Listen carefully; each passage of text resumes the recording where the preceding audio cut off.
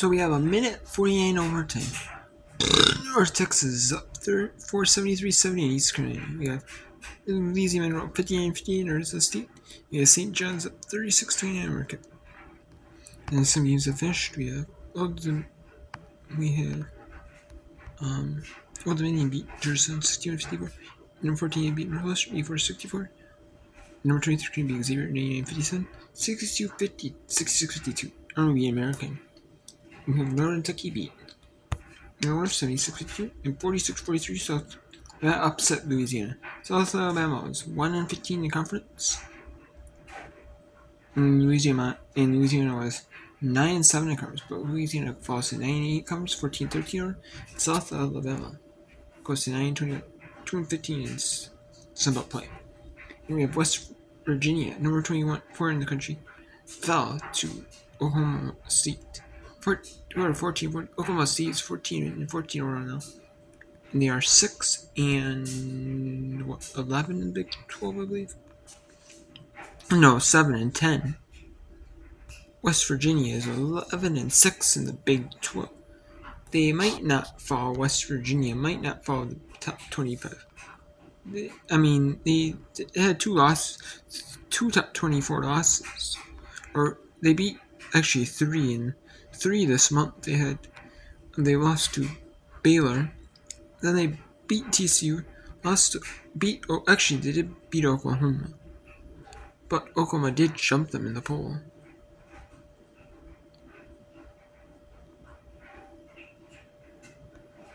Oh, next week after that. So they were 21st, I think, and then West Virginia was 22nd. I remember they went to Lost to Kansas State, lost to Baylor again, lost and then lost Oklahoma State. So I think though should be all the top 25. West Virginia, March 2nd. Yeah, they played TCU, so probably all the top 25. Um, Monday. And we, so it's, and then let's go to East Carolina, North Texas on ESPN Plus. Duncan finds Lampkin and one. There's 44 What a find by Duncan. And Tamisha Lampkin gets the friendly roll. North Texas by five. When they play inside the arc, John, against this matchup defense, that's when their best things have happened. Wasn't pretty here. Loses the ball, kicks it out, but she drives the closeout. Gets to the paint, Gives a nice pass to Lampkin and the muscle inside the emotion from 24 as she now has 21 points on the evening. Her sixth game of 20 plus. And off the miss, an immediate timeout by ECU to get it into the front court with 44.8 to go in overtime. But North Texas making a clutch offensive play Tamisha Lampkin's bucket puts North Texas in front by five. Okay, when you turn okay, around, so you're gonna see someone. Let's go to Louisiana Arkansas State. Or they in the media. You know, handle the ball in the. In no, the... it's actually we'll stay with them. East Grand Texas. And save you money when you bundle home and auto with us. Three, two, one. We don't need a countdown. Just take the picture. Well, when there's no commercials. What? Okay, so we're back. Welcome back into Denton. 44.6 left in overtime. A big Tamisha Lampkin bucket puts North Texas up by five with under 45 seconds left. And now for ECU, you got to go fast. Need two buckets in a hurry. Miller outside. Nowhere to go against the man on man. Miller fires. Miller knocks down her third three of the game. She had only hit three of her previous 39 threes before this game, and today the freshman's on fire. Miller's been awesome. Uh, you go onto the ball screen, but the ball is dead. That's the part I'm kind of like, mm. once it's dead, you got to put some pressure on right there. She picks up her dribble. The ball is dead. Take that away, but good job. You're playing the percentages and players making plays. That's what this game is about. Good job by the freshman. She made the three in regulation in the corner, which was a huge three. This one also with another huge response, and neither team is going away. You're going to have to earn this all the way to the buzzer. And it also gives ECU a chance to play out this possession as well defensively. Yep. There's an 8.3 second differential. You're out of team fouls, so if you do foul, you put them at the line. No timeouts left for ECU, but that could not have gone any better for the Pirates to try to extend this game. Yeah, they did it in a short amount of time as well. So big possession here, as you mentioned. They do not have to foul. They can play this one out. North Texas trying to snap a two-game losing streak at home and also looking for their 21st win of the season that would tie an all-time single-season record in Mean Green Land. Down to 11 to shoot for Hardaway. She goes with 10. Now with 8 to Colonel, knocked away. Hardaway got it back. Only four to shoot. Lampkin, can she do it again? She's blocked inside shot clock violation with no call, no timeouts left. Miller into the front court for the time. Miller off the glass and good. Count it, count it, count it. And the clock maybe should have stopped if it went in before the end of overtime, but a scramble bucket for Miller. We're going to a second overtime. Yeah, great job there by Joyner, but Miller with the over the top doesn't get stripped. The freshman, the rookie, doing it so well here in Denton this evening, making back to back. She's on a 5 0 run by herself if this bucket counts. Kim McNeill said she can score. She just doesn't know what she's doing yet. she plays hard. She knew what she was doing on this one right here. On that three and on that bucket right there, she knew exactly what she was doing. North Texas got a little bit too relaxed. And then on that play inside, they went exactly to Lampkin. She's been playing so well. But you have to continue to go through the contact, John. You have to make the confrontation at the rim. You can't just go straight up against a player like Joyner. She's going to block it every single time. Great job by ECU continuing to fight. And now they have the momentum going in this one. What a big time game. This is what March Madness is all about. I don't think it's quite March yet. I think we got a few more days, but it feels like it already, John. Could be a preview of things to come in March in Fort Worth at Dickies Arena. Now, for North Texas, they thought they had this thing won, mainly thanks to the incredible play of Tamisha Lampkin tonight, who leads the Mean Green right now with 21 points. If there is, and they're going to double overtime. There. So let's go to Lizzie Monroe at Arkansas State. 67-60. 49 6 to go. In the second to final Sunbelt game for both these teams.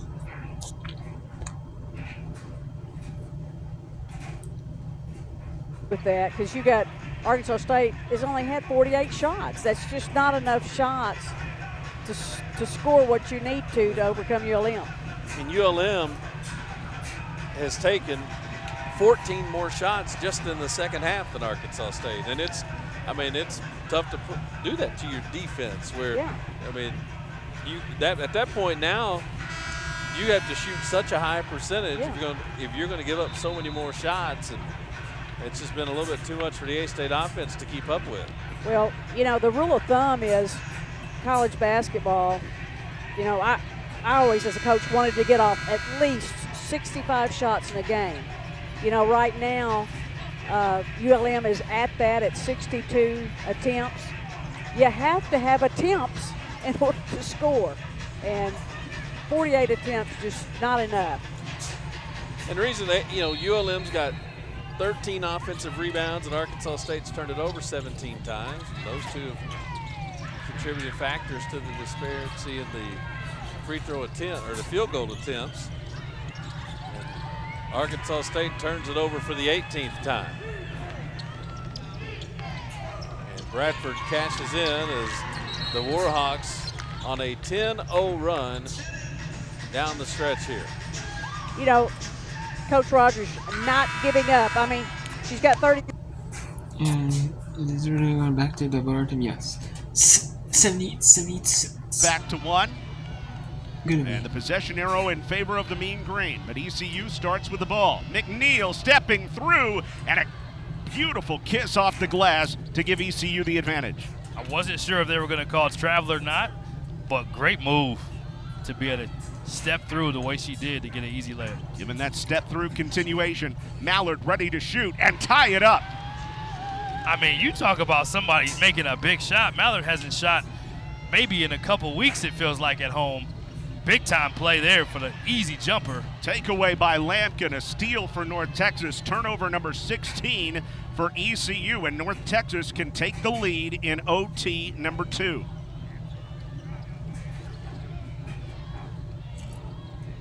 Foul trouble. There are three players with four fouls apiece for ECU. On the take, Robinson short, and on the rebound, Mallard called for the foul, so free throws the other way for ECU. Tough break there for UNT. Had a wide open layup. Deani Robinson makes that probably eight or nine out of 10 times. Here you see the defense here, the step through. Beautiful move by the best scorer in this conference. And here you see Mallard with the easy jumper, no hesitation, playing some big minutes off the bench. So Tatiana Wyche was the one that got fouled on the other end on the loose ball. Wyche working on another big game and the 71% foul shooter. A couple big ones here. A settling shot by the transfer from Florida. Yeah, back-to-back double-double games for her. Now that she's back healthy, and they won five out of six when they had this crew healthy. She was out about three games, and they lost three of those. All three of those games came back against SMU and got a victory. And she is a huge part of this game, huge part of this team.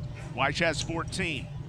Duncan thought about the three, steps in, Hardaway for the lead. Back rim, but Lampkin chases the rebound down, finds Robinson for the tie, in and out, and Wyche clears the carom.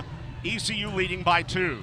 Yeah, another point blank shot. Good job getting the extra possessions, and again, comes down to those little small margins. Great shot by Deani Robinson. Wasn't able to connect, and another great defensive rebound by East Carolina. You got to dig deep now. Double overtime. Miller. Ball knocked into the air, and Miller called for the foul, and Miller has fouled out. That is huge for the freshman who has led ECU in this comeback with 19 points. Yeah, that's a, just a tough break. She jumped past. Good job again by Hardaway. I've said it about her being an unsung hero. Here you see her getting the deflection. They got her with the contact as Hardaway falls down. Could have been a no call. They decided to make it a call, and the clutch player for ECU in regulation and the first overtime fouls out of this game in her best game as a college player. I'm assuming because it was an offensive foul, it's not bonus, even though North Texas is in the bonus. Yeah, it wasn't. It was ruled an offensive foul, not a loose ball foul. 2.55 to play in the second OT. East Carolina by two here in Denton. Trying to make it a three-game home losing streak for North Texas. Texas still trying to chase down Temple for a conference regular season championship. Colonel inside. Great job by Joyner. Colonel had it back. Now a reach in tie ball. It stays with North Texas with 2.33 left in double OT. Yeah, we mentioned the 50-50 plays. It's not about pretty at this point in the game. you got to make it a little bit ugly and a little bit gritty. And the left-hand finish doesn't go. The contact on the way down, and refs letting them play and jump ball. So it is. It is Louisiana Ruby earns a seat 69-60. And after three, on a plus one, St. John's 42-35 on Marquette after three quarters.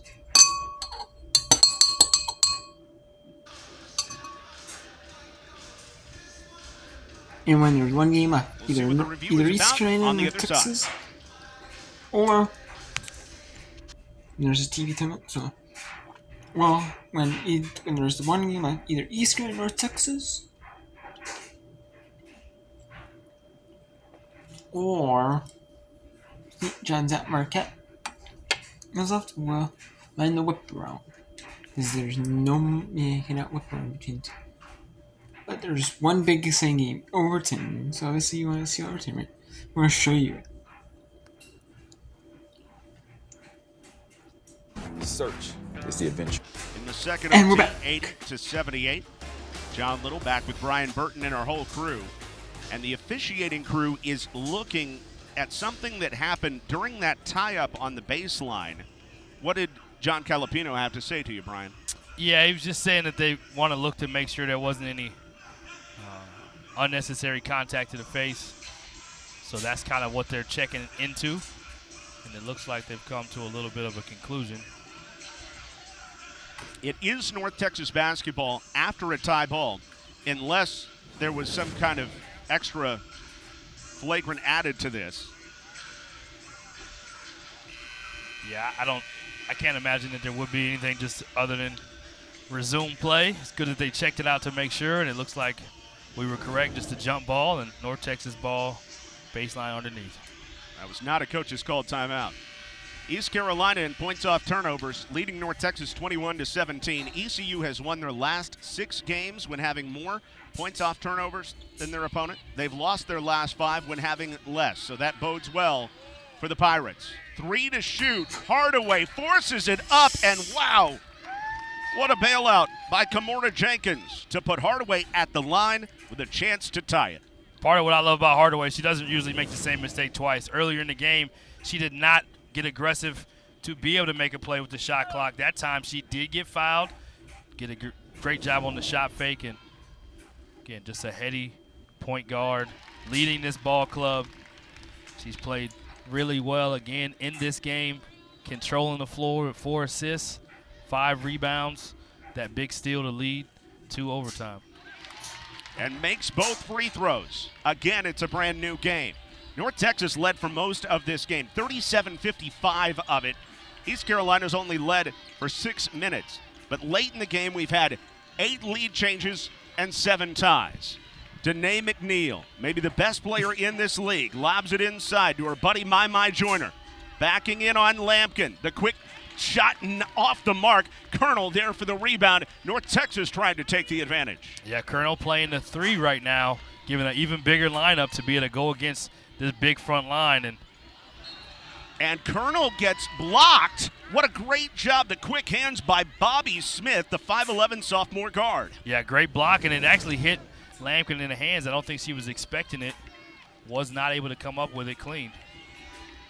Oh, Maybe a hit off Colonel. yeah, it must have gone off Colonel. I agree with you. Initially, I thought it went off Lampkin as well, but the replay says no. Joyner, ball in the post against Lampkin. What a matchup. Knocked away by Colonel, but right to Wyche. Wyche on the baseline against Mallard for the lead. Comes up short. Lampkin grabs the rebound for her 11th double double of the season. And North Texas with a buck 20 left in double overtime throws it away. Defense is getting it done right now on both sides. North Texas 0 5 to last five, hasn't scored in three minutes. East Carolina hadn't scored in two and a half. Both teams on a little bit of a scoring drought. That time just too high of an entry pass. The turnovers have been a big part of this game.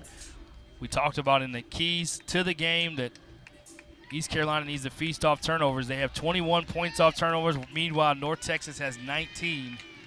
John, I believe you have some stats on when East Carolina leads in the points off turnovers. They do very, very well. They've won their last six games, but here's a turnover. Colonel takes it away. North Texas looking for the lead. Colonel trapped in the corner, though. Finds Lampkin. Up top, Duncan not looking to shoot. North Texas goes into their half court offense. I'd imagine they're going to go again to Desiree Colonel in the middle of this matchup. Hardaway goes to the ground. Ball in the air, picked off by Bobby Smith. Leading ahead, Danae McNeal. And ECU takes an 82 to 80 lead. Huge turnover and a huge no call. Hardaway falls down. Thought it might have been a foul, was not a foul, and big steal that ended up as a result. You see Hardaway get knocked to the ground, and then it's just a fight for it. And luckily for East Carolina, Bobby Smith wins the ball. Danae McNeal wins the race. Yeah, that's what makes this defense so tough because when they get the steals, your guards are at the top of the zone, so you get these easy, uncontested shots like you just saw there. I wasn't sure if North Texas tried to call a timeout when Hardaway fell down. It looked like the ball was in Colonel's hands, kind of bobbled it, and another 50-50 play come up by East Carolina. Both these teams are exhausted yeah. physically. I'm sure exhausted mentally. They just want to be able to walk away with a win. Has not been easy. Both teams, again, mentally tough as nails, so well coached, so disciplined. You're seeing some championship basketball be played here in Denton. East Carolina is off until Sunday. North Texas off until Saturday. After this slobber knocker, Colonel down by two. Game clock to shot clock difference, eight. That doesn't matter much yet. Now Colonel is fouled and goes to the line trying for two clutch free throws to again tie it up. Bobby Smith the foul. Yeah, the correct call. They wanted to go to Desiree Colonel. They have her playing the three, a little bit more of a mismatch there. You see the reach in, contact. The referees have done an outstanding job. This has been a physical, intense game with some well played basketball players on all sides. And They've kept it really clean for the most part, despite all the fouls. Colonel, so good at the line. Three for three in this game. She has 15 rebounds and five assists. That's all? In this game as well.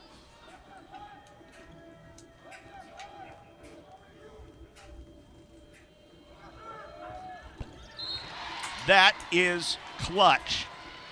As clutch as you can get at this level, Desiree Colonel, who steps up in the big moments, makes it a brand new game again. 26.4 left in double OT. East Carolina ball. They'll move it into the front court. As the late, great Stuart Scott would say, as cool as the other side of the pillow.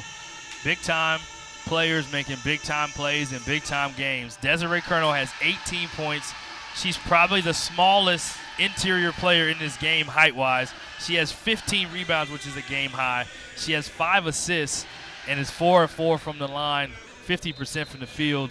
It feels like a quiet game for her, surprisingly, even though she has 15 rebounds.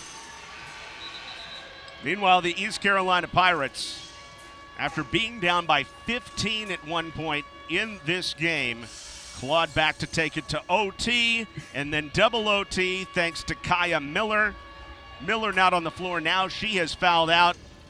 But the Pirates do have Danae McNeal and company as they try to go back in front.